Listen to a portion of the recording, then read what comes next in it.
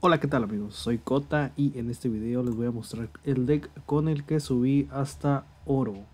Ahorita estoy en oro 4. Vamos a ver primero unos replays. El deck es un deck anti-meta. Eh, varias cartas las crafteé. Bueno, la mayoría las crafteé, otras salieron. Y pues es un deck muy barato. Ya que tiene 10 ultras nada más, si no me equivoco. Vamos a ver uno de los matches. Bueno, este es el, último que jugué. Era un Tri Brigade, si no me equivoco. Y pues se acabó en el segundo turno. Bueno, se rindió. Van a ver la, mano con la que abrí. Eh, pues una mano casi perfecta para el deck. Abrimos Inspector Border, tres trampas, Duality para, para ver el tope. Eh, bueno, y nos dio la Solem. Con esa aseguramos el juego. Colocamos las cuatro cartas y terminamos el turno. Activa Desires. Setea Normal Sumo, no puede hacer efectos y se rinde. Entonces aquí pues el Inspector Border lo hizo todo. Vamos a ver otra replay de victoria. Estaba... Aquí está.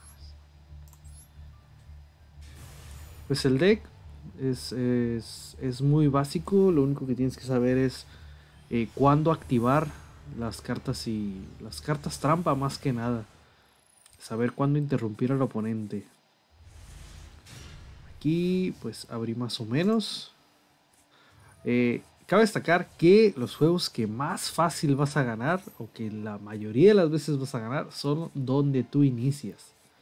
Si ganas este pues ahí la moneda abres tú, Inspector Border o con Céfalo. Y son de los duelos más fáciles que vas a ganar. Aquí me tocó contra un Mech Knight.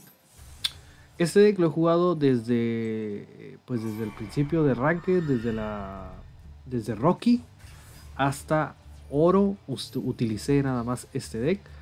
Y pues la verdad que de, en esos rangos de, de nivel no te va a tocar mucho deck meta. A lo mucho me tocó contra un Virtual World que perdí. Un Tre Brigade, el que te mostré que gané. Eh, un Drytron que gané, de hecho eh, subí el video, fue el video pasado, aquí te lo dejo aquí arriba. Y también jugué contra un Shadow y ese me ganó. Entonces no jugué contra Warsaw, no jugué contra Invoker, no jugué contra Sky Striker. No sé si en realidad el deck vaya a servir después de, de plata, de ahorita en oro. ahorita creo que en oro todavía sí sirve. Pero de Rocky a oro te lo recomiendo bastante. Ya que pues con la bandlist que está disponible, Card of Demise está a 3. Entonces el deck tiene mucha velocidad con 3 Pot of Duality, 3 Desires y 3 Card of Demise. Ahí pues ya le gané al Magnite. Vamos a ver una de las derrotas, Mr. Hyde. Ah, te vas a encontrar contra mucho mago oscuro. Bueno, a mí me tocó contra mucho mago oscuro. Y la verdad que ahorita vamos a ver un replay del mago oscuro. Porque está difícil ganarle con el deck antimeta a ese deck. Ahorita que esté el replay te voy a explicar por qué.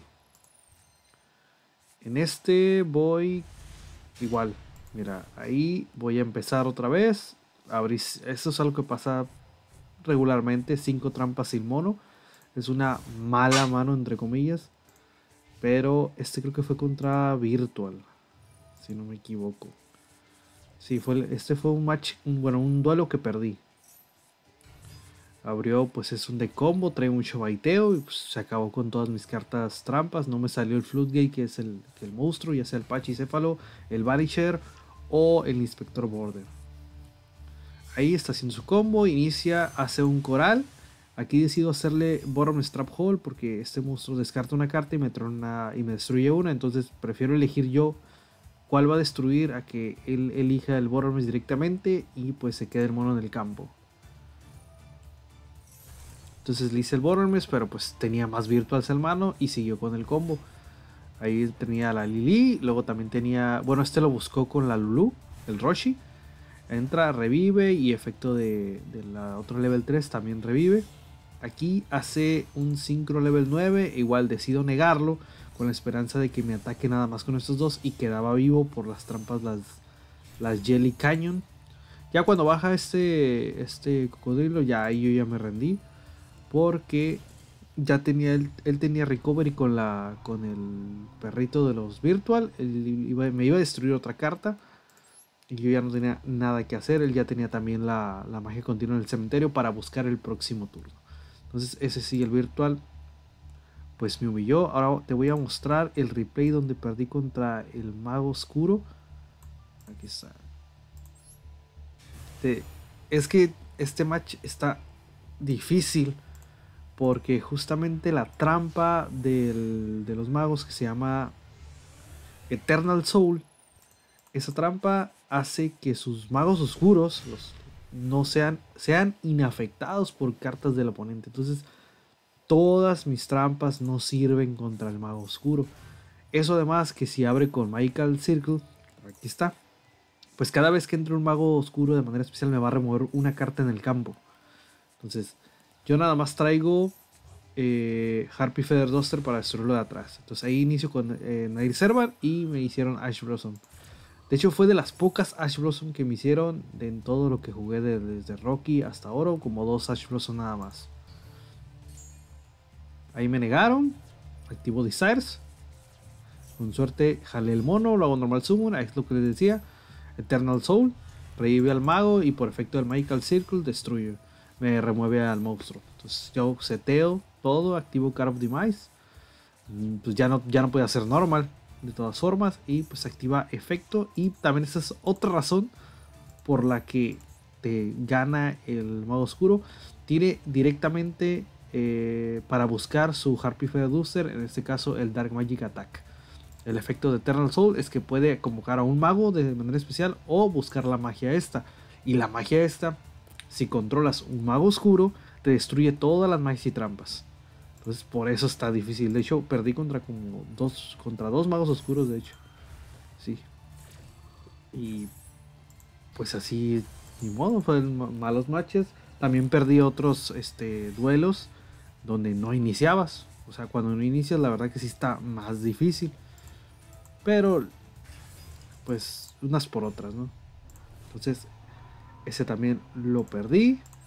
Y pues les voy a mostrar el decklist que utilicé. Para el primero que, em, que utilicé eh, al principio fue de 40 cartas.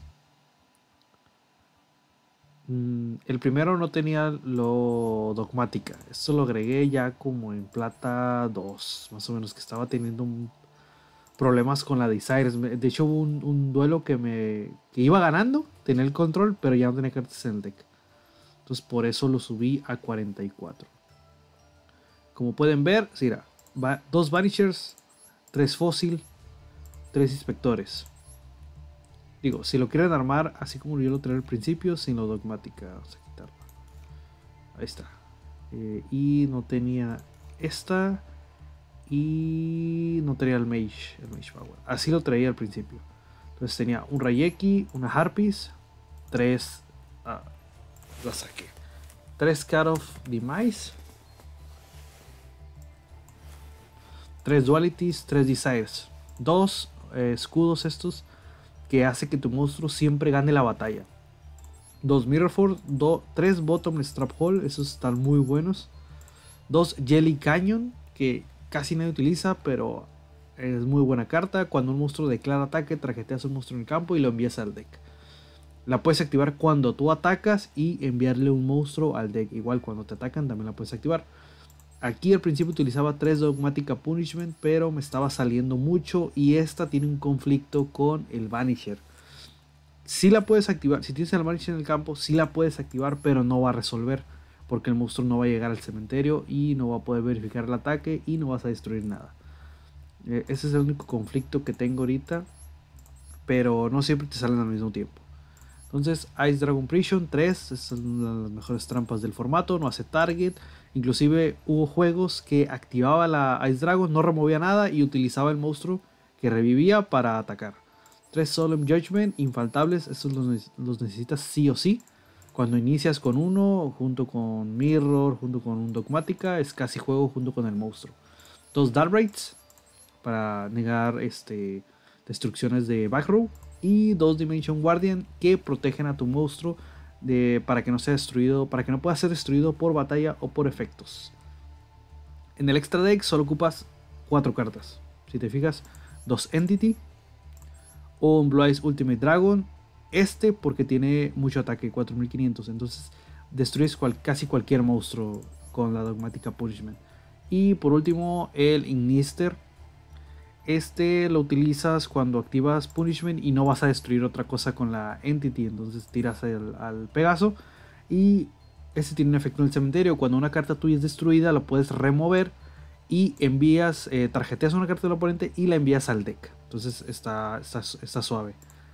Y lo demás, ¿no?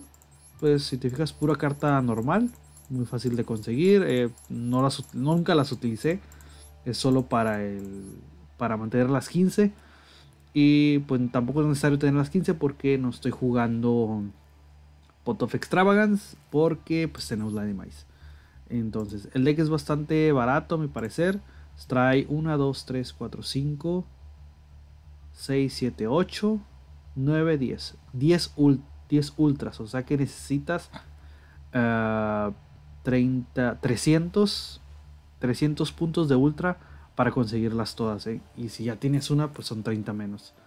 Y en super sí son varias, pero el super es más fácil de conseguirlo. cuando abres boosters, eh, craftear super está fácil, raras y normales. Es, es fácil conseguir varios puntos. pero las ultras sí es complicado. Y pues ese sería el deck. Si te gustó, dale like, comparte y suscríbete al canal. Eh, pronto subiremos otros decks anti-metas y te dejo un video de tutorial que, pues que te ayuda a configurar tu cuenta. Nos vemos hasta la próxima.